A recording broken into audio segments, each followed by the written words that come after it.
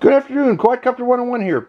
Hey, I re uh, received some requests for uh, showing how to hook up the gimbal system on the X380. In particular, this is that cheap $45 gimbal system that I got here. And how did I hook it up to my X380? Well, first things you got to know about for hooking this up, particularly electrical connection, is you have to know what these pin pinouts are on the quadcopter. Um, thanks to Sebi who documented this on RC groups, but the pins that you'll need to know is the plus and minus 12 volt pins, and it goes from front to back. The first pin from the front is the negative ground for the 12 volts, and the second pin is the plus 12 volts for the system. These other pins here are plus or minus 5 volts. They have nothing to do with our gimbal. Okay, this is if we want to hook up something like a an FPV system or run a separate power system to a, a camera that requires a separate power system. But in our case, we're not using the 5 volts. So leave them, those slots empty. Don't plug anything in there. And finally, the one that's really important to us for the X380 is the signal pin. And that's the one all the way in the back of the quadcopter. Now that signal pin is only for pitch commands. Um, this the uh, X380 does not have uh, a signal out for controlling uh, roll. We only control pitch up or otherwise up and down movement of the uh, gimbal by moving the transmitter's uh, roll switch up and down or clockwise and counterclockwise. So again, the only pins that we're going to worry about for hooking up to our gimbal system is the negative ground all the way, which is all the way forward, the plus 12 volts to power the gimbal and to power the the uh, pitch and roll or the pitch primarily the pitch command and the signal that tells the uh, gimbal to uh, move up and down to pitch it up and down. Okay?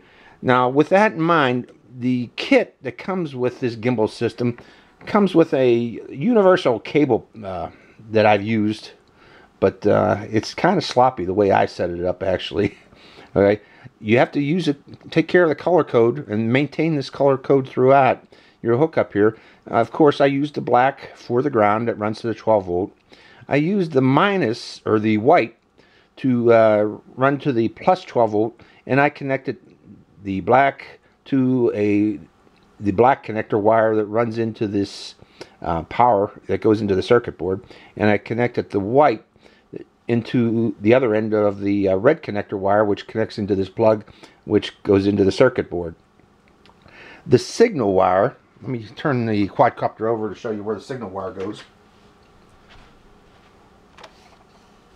Let's make sure this stays in picture.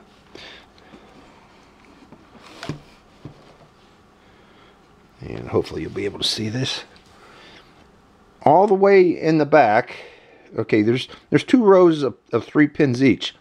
The top pin, or the one closest to the quadcopter on, on both of these, one of them controls pitch, is it takes the signal for the pitch command, and one of them takes the signal for the roll command.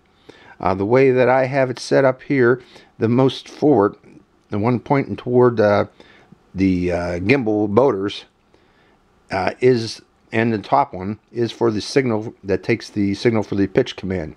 I do not have to hook up any ground wire or any power additional power out wires to this uh, these pins. Only one pin is connected and that's the top signal pin on this one here. You'll you'll notice you got something wrong if you put it on the top pin and instead of controlling pitch you're controlling roll.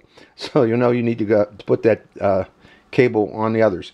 Do not connect any other wires up to these uh, lower two uh, pins. They're not needed for the X380 hookup with this gimbal system. And more or less, that's it in a nutshell. I'll show you how it operates. Okay, I'll turn on the transmitter. And so you can see the pitch roll knob there, or the pitch knob. Now I'm going to plug in the power to the quadcopter.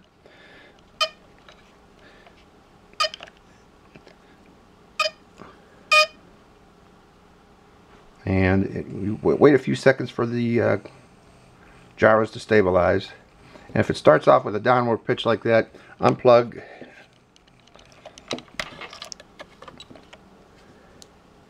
and try to recenter that again. And you do have to have a camera when you're on attached to this when you're doing this because the weight of the camera system um, is a comp is compensated for with the gyros. If you don't put a camera on there, you're going to get severe vibrations. And in this case, it levels off. Now we're going to test whether the pitch command works by turning this up. And we see that it's working now. Again, there's only three wires that you connect up. And that's the signal wire and the power wire. Wires, you know, minus and plus, black and red power wires. Do not mix those up. If you do, you could burn out both either the circuit board on this gimbal system or the circuit, worse yet, the circuit board inside the quadcopter. That would be very bad. so try. You have to maintain um, those color codes and where those wires go.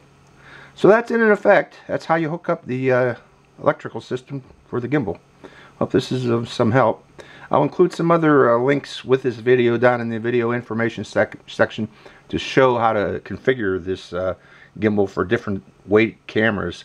Um, again, this gimbal was, when it comes out of the factory, it's uh, been configured for GoPro, heavier GoPro camera. You can use lighter cameras. You just have to adjust some of the settings and I'll include links uh, that show how to do that. Uh, particularly the power setting of this. Uh, you got to lower the power setting for the lighter weight cameras. Okay, this is Quadcopter 101. I hope this helps some. Quadcopter 101, signing out.